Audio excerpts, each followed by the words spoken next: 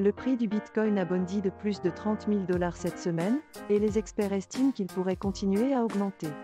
Michael Novogratz, PDG de Galaxy Digital, prédit que la Réserve fédérale américaine déclenchera une hausse du prix du Bitcoin de 200 milliards de dollars plus tard cette année. La Fed devrait de nouveau relever ses taux d'intérêt le mois prochain, ce qui pourrait entraîner une légère récession. Novogratz recommande d'investir dans des actifs tels que l'or, l'euro, le Bitcoin et l'Ethereum.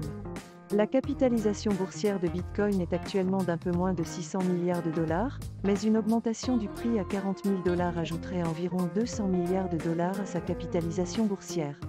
La barre des 30 000 dollars est considérée comme significative pour le Bitcoin et a servi de changement de mode de marché par le passé.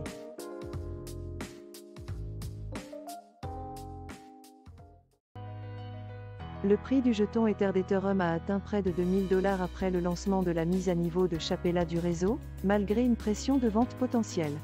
Plus de 194,8 millions de dollars dettes ont quitté les réserves de vote d'Ethereum depuis le lancement, mais le marché a absorbé la pression de vente jusqu'à présent.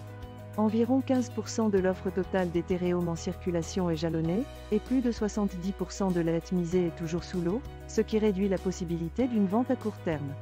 Cependant, l'ETH USD est légèrement suracheté et une correction de prix à court terme pourrait survenir ce mois-ci. Une cassure décisive au-dessus de 2000 dollars pourrait mener à une hausse potentielle vers les 3000 dollars.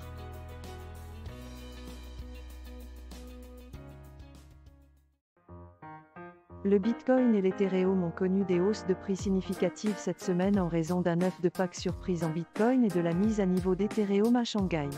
Cependant, le cofondateur d'Ethereum, Vitalik Buterin, a averti que le réseau devait se concentrer sur la résolution de ces problèmes de mise à l'échelle avant la prochaine hausse des crypto-monnaies afin d'éviter des frais de transaction élevés. La mise à niveau de Shanghai a permis à ceux qui ont misé sur Ethereum de le retirer et a ravivé l'espoir que les investisseurs institutionnels pourraient entrer sur le marché. Mona Elisa, PDG d'Avantgarde Finance, a déclaré que cette mise à niveau pourrait susciter un intérêt accru de la part des investisseurs institutionnels pour le Bitcoin, l'Ethereum et la cryptographie.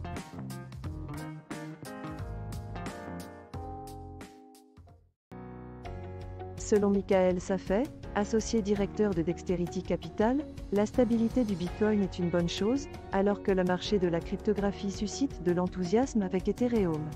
La récente mise à niveau d'Ethereum à Shanghai a soulevé des questions quant aux ventes importantes, mais son prix a plutôt dépassé les 2000 dollars deux jours après la mise à niveau. Safet a souligné qu'Ethereum est accusé d'être une sécurité et devrait être réglementé, contrairement au Bitcoin, qui est traité comme une marchandise. La récente mise à jour a changé les règles du jeu, et peut être à l'origine de l'engouement des utilisateurs sur les marchés.